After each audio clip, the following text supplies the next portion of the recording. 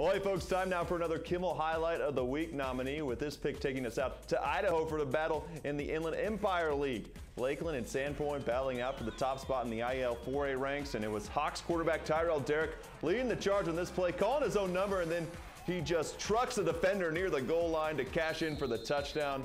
Along with 32 yards rushing on that touchdown, Derrick also threw for 222 yards and two touchdowns. Lakeland edges Sandpoint 31-28 on Friday night. Is Tyrel Derrick your Kimmel highlight of the week? Vote right now on our website.